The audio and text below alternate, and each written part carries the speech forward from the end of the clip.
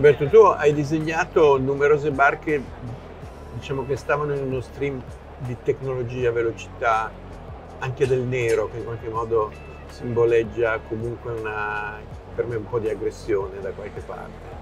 Ecco, questo mood è ancora presente nel mercato dal tuo punto di vista?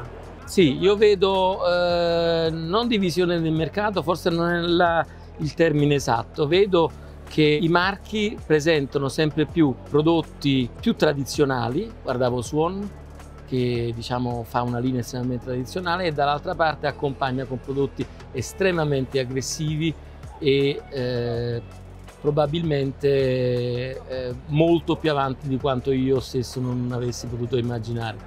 Eh, probabilmente la strada tracciata poi non, non, da me ma se voi da Bassani con Wally c'è questo performance yacht, sailing yacht che, che è andato tantissimo per vent'anni ha aperto una breccia, ma poi dopo all'interno di questo settore probabilmente vediamo adesso una, una, una divisione verso cose realmente tecnologiche, il foil, e cose forse più tradizionali, sia di volumi che di tecnologia. E tu credi un pochino tanto al foil? E bisogna credere al foil, ahimè bisogna credere al foil. Bisogna credere al foil perché non è immaginabile.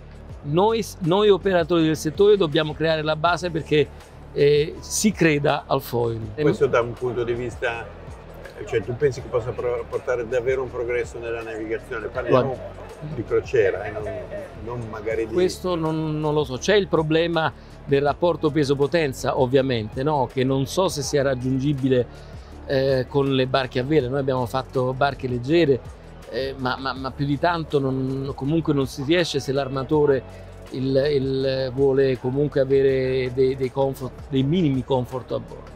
Per cui attualmente la potenza disponibile è aumentata in maniera esponenziale grazie ai nuovi materiali, il rapporto peso-potenza ha consentito di, di staccarsi.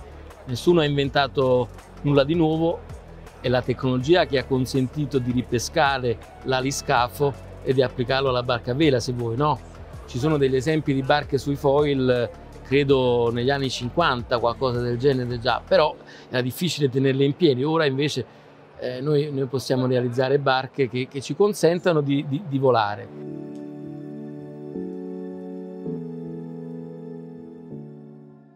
Senti, torniamo un po' a un discorso più tra virgolette tradizionali, le abitudini degli armatori che tu hai conosciuto eh, stanno cambiando oppure il filone regata crociera, il filone mediterraneo è sempre solido?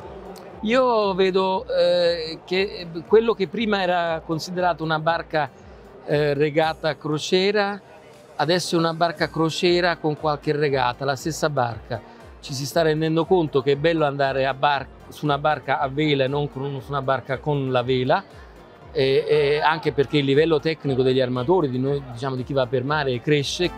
Quello che noi facevamo in regata 30 anni fa, adesso normalmente in crociera c'è la vela di carbonio, c'è lo scottame in, in Dynema, in Vectran. Se tu dovessi tracciare un futuro o dire vorrei disegnare questa barca, senza tanti vincoli di mercato o di armatore, dove andresti?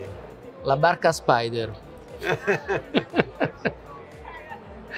no, il, beh, dico, è una provocazione. La visione che ho è, il, è, la, è la, riduzione e l'ottimizzazione delle funzioni degli spazi, la riduzione a questo punto anche delle dimensioni. Ci sono alcune eh, cose che a bordo secondo me sono ridondanti, il cui numero andrà a contrarsi. L'ottica dell'ottimizzazione, c'è stata una fase in cui le barche sono state ridondanti per, per, per, per legnami, per, finiture, per pelli. Adesso nell'ottica, nel solco del minimal, parte col minimal, ma secondo me si asciuga ancora di più e si va all'essenza del, dello yacht che torna a dire quello di, di andare in barca a vela con comfort moderno.